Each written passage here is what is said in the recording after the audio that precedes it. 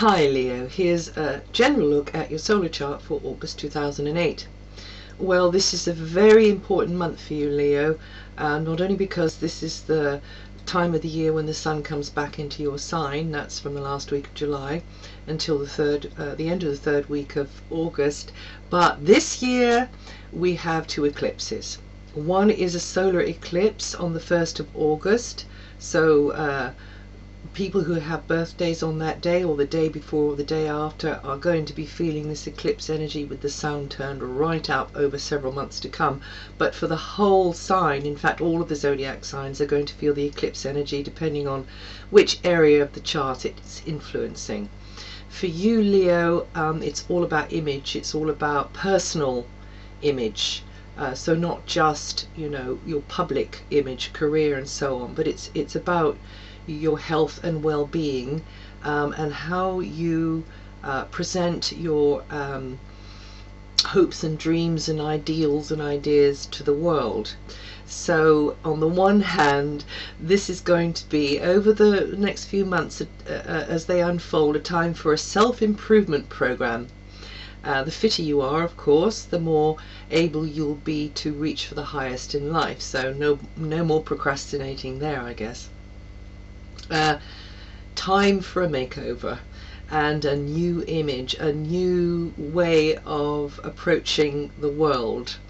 Uh, also an excellent period to reinvent how you present your abilities and skills to the world. Now, the eclipse on the 16th of August in Aquarius, your opposite sign, means that you will have to find a way to dovetail your originality, your creativity, your uniqueness um, within some sort of uh, organization or group of people. Um, so uh, there will have to be uh, a, a feeling uh, of cooperation, collaboration, and compromise coming in there, um, and also with partners. So actual partners that you have at the moment, or potential ones that you're you're you're trying to get uh, to cultivate um, in, in your private and working life uh, over the months to come. Finding out what someone else's needs or ideas are and balancing yours with theirs. Maybe uh, for some of you, you, you're trying to promote something, market something, uh, maybe it's yourself or something that you've created, but either way, it's joining together with others, um, pulling together, or, or, or perhaps you are meeting with others of like mind for some reason, and this can be, you know, um, over the internet even. So, whatever it is, um, that's going to be a period when you need to um, collaborate and pull in the same direction. Uh, perhaps with someone whose expertise you admire and you can learn from also it's important to understand what people want uh, you know in business what the market wants and setting the ball in motion over the next 12 months. Now for August in particular well this is your month of course uh, and and time for you to really get into the swing of things. This is when things start to take off. By the way over eclipse days that's to say the 1st of August and the 16th of August is not a good moment to get very busy then with bringing in sweeping changes. Um, just let the energy bed in a little bit before you start getting um, active with things. Um, you know the, the the this kind of energy is just going to manifest in situations around you so you will be able to take the cue from the universe herself um, so over the month of August well the solar eclipse energy is really going to magnify um, everything and uh, it's as well to sen sense how you can use that most wisely. Um, others are going to like your style, uh, your personal style, you know, you'll be appealing uh, to maybe somebody that you want to get friendly with or um, something that you're, um, may maybe you're applying for a job or maybe a loan, although things financial get a lot easier uh, uh, from the 6th of the month.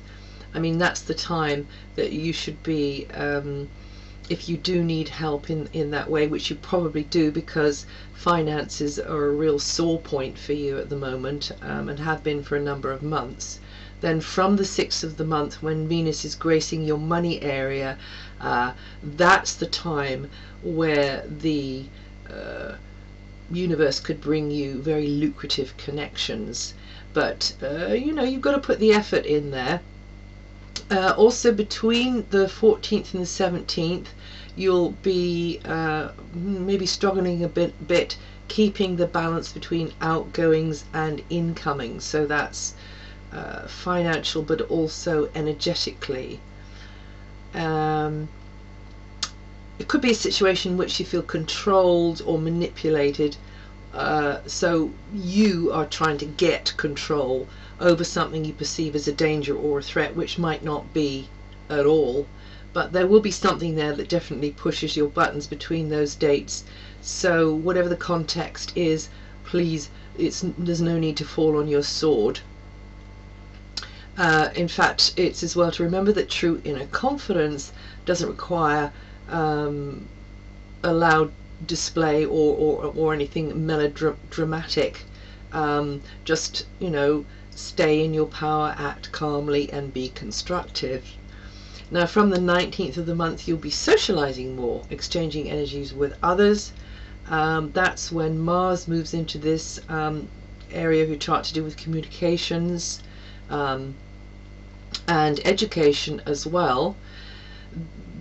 Mars sometimes means you know you feel tense, you feel, feel irritable. So yeah, that's a possible way it could pan out at times. But overall, the greatest emphasis is on fresh ideas, lots of good uh, input, things to think about, you know, to mull over, stuff to learn, plenty of encounters which require good communication skills and some diplomacy thrown in as well.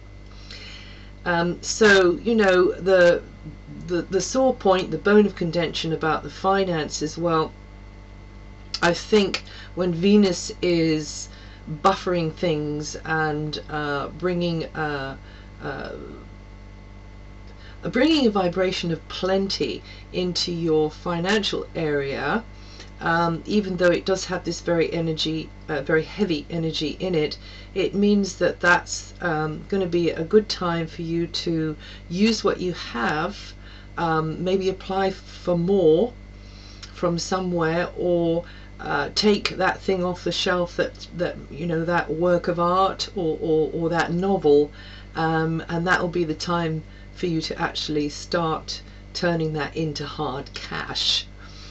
So it's all about how you present yourself over the months to come, particularly, as I say, in August, and also your creations, your baby, your projects, something dear to your heart.